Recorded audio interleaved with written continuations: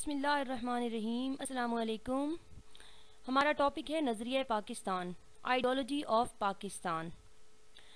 इससे पहले हमने नज़रिए के बारे में बात की कि नज़रिया क्या होता है। अब हम बात करेंगे कि नज़रिया पाकिस्तान क्या है यानी पाकिस्तान का नज़रिया क्या है पाकिस्तान की आइडियोलॉजी क्या है। आ, पाकिस्तान चूँकि जिस नज़रिए के तहत वजूद में आया वो नज़रिया था नज़रिया इस्लाम। तो इस लिहाज से पाकिस्तान का नज़रिया नज़रिया इस्लाम है। पाकिस्तान एक नज़रियाती ममलिकत है, यानी एक नज़रिए के तहत वजूद में आने वाली ममलिकत है कि जिस के जिस कौम पा, उस वक्त जो मुसलमान कौम थी पाकिस्तान बनने से पहले, उनका एक नज़रिया था कि, हमें एक ऐसा वतन चाहिए जहाँ पर हम अपने इस्लामी असूलों के मुताबिक ज़िंदगी गुजार सकें। ये उनका नज़रिया था और इस नज़रिए के तहत ममलिकत पाकिस्तान वजूद में आया। इसलिए पाकिस्तान को एक नरियाती ममलिकत कहा जाता है। और पाकिस्तान की जिसकी बुनियाद एक फ़लसफ़े पर रखी गई है, जो नज़रिया पाकिस्तान है, उसकी बुनियाद जिस फ़लसफ़े पर रखी गई है, वो फ़लसफ़ा है दीन इस्लाम। तो लिहाजा पाकिस्तान की तमाम तर असास या बुनियाद इस्लाम है। इस लिहाज से नज़रिए पाकिस्तान और नज़रिया इस्लाम हम मायनी हैं।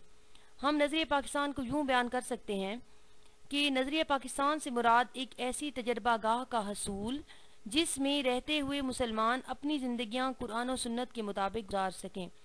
यानी पाकिस्तान का ये नज़रिया था कि हमें एक ऐसी जगह, एक ऐसी ऐसी तजर्बा गाह मिल जाए जहाँ मुसलमान अपने मज़हब इस्लाम के के अंदर रहते हुए, के दायरे के अंदर रहते हुए अपने मुआशरती मामलात को तय करें, अपने मज़हब की इबादत को अदा करें और अपने तमाम मामलात उसके अंदर रहते, अपनी तमाम मामलात और अपनी ज़िंदगी इस्लाम के मुताबिक गुजार सकें। ये जो नज़रिया था, वो नज़रिया पाकिस्तान कहलाया।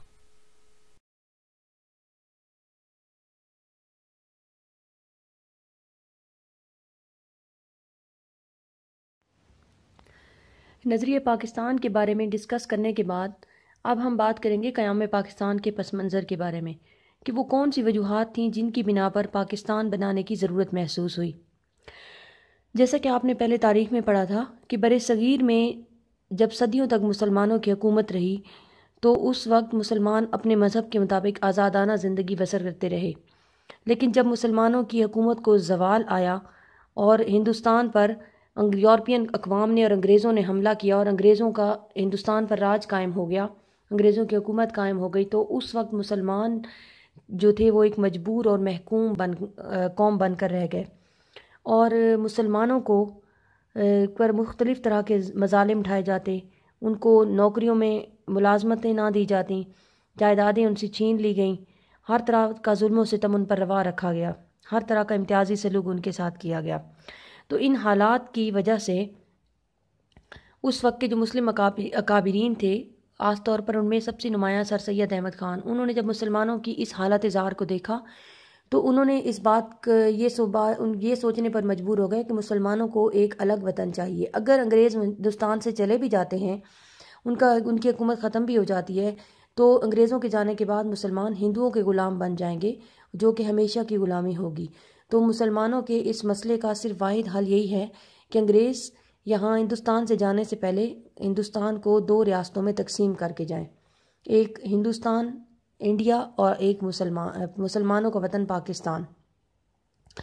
इन तमाम हालात का जायज़ा लेते हुए इन तमाम हालात में मुस्लिम अकाबरीन, जिनमें सर सैद अहमद ख़ान का आज़म मोहम्मद अली जना इकबाल और कई दूसरे मुस्लिम अकाबरीन ने बर सग़ीर के मुसलमानों के तहफ़ के लिए, उनकी आज़ादी के लिए कोशिशें शुरू कर दीं और इन्हीं कोशिशों के नतीजे में पाकिस्तान वजूद में आया। आई होप कि आपको समझ आ गई होगी कि नज़रिया पाकिस्तान क्या था और वो क्या वजूहत थी जिनकी बुनियाद पर, बिना पर पाकिस्तान वजूद में आया। Thanks for watching